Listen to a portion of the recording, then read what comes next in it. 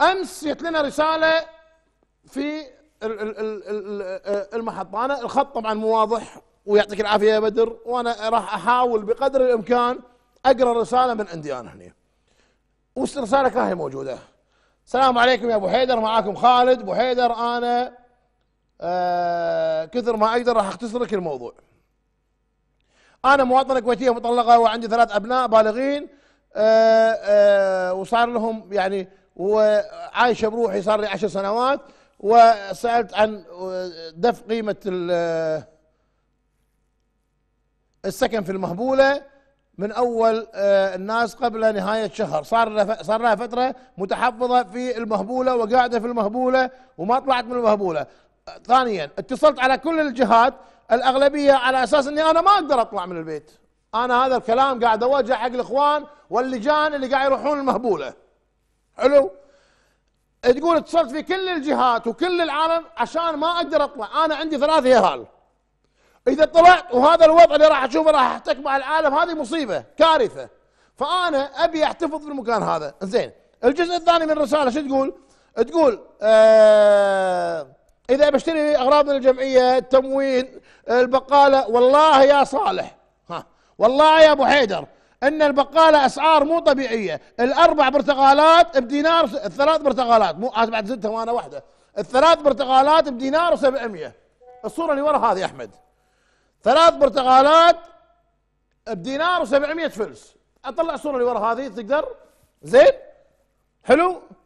غير إن المواد الباجية. أبو حيدر كل مرة أنزل أبي أروح في نقاط تفتيش. ومستحيل وصعب إني أنا أطلع من هذه النقاط. شوف ثالث سطر ثالث سطر شوف هذا حالنا واخذنا تخيل ثلاث برتقالات بدينار و700 فلس كهوة فوق أول شيء.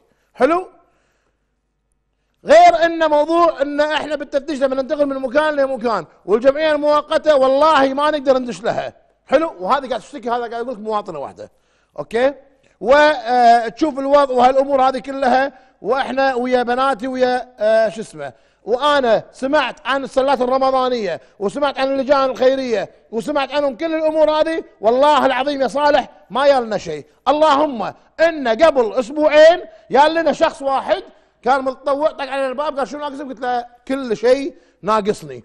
بعدها اختفى هذا الرجل ما شفناه. بعد سبعة أيام سألت الحارس قال والله يبنى حق يابا وحق العمارة اللي يمنا شقتين ثلاثة. يقول أنا سألته ليش يا أخوي؟ يعني قال والله ظاهرنا يمكن يعني يعرفون الناس وأنا مش عارف إيش. أنا هذه الشكوى تقهرني تحرق قلبي تذبحني لأن هذه حالها حال أختي. وهذه الشكوى اليوم متقاربة مع وايد شكاوي من الأخوات اللي موجودين اليوم. قد تكون الأخت اليوم يعني حتى يمكن دفتر بنتها اللي قاعد تكتب عليه. حلو؟ كتبت الشكوى ووصلت لنا إياها. أنا سؤالي حق هذه الإخوان اللي في الجهاد.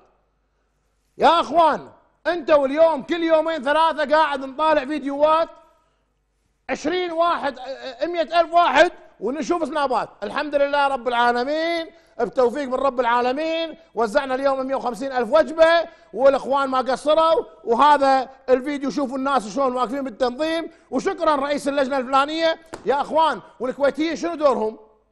الناس الكويتيين اللي عايشين بالشقق هذول اللي قاعدين شنو دورهم؟ تبون ننزلهم بالشارع يوقفون دور؟ ما يصير. معقولة؟ ما في عندكم لستة؟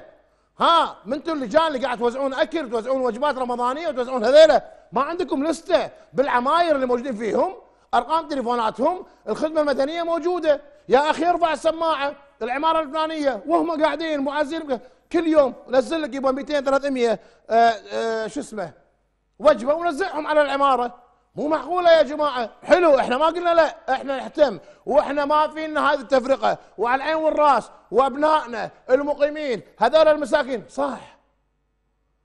بس أنا اليوم أشد حيلي كل هذا الموضوع و20 فيديو أنا حطيته لليوم باللجان. وأي أنا حق بنات الكويت والناس العوائل اللي قاعدة في في المهبولة ونفس الموضوع ترى في في في الجليب.